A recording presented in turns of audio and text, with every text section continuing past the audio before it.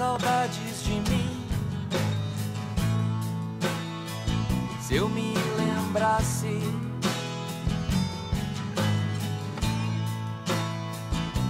do Cara que eu era ainda fora da cela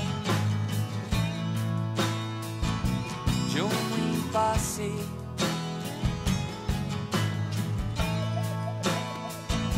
Talvez eu parasse de olhar o futuro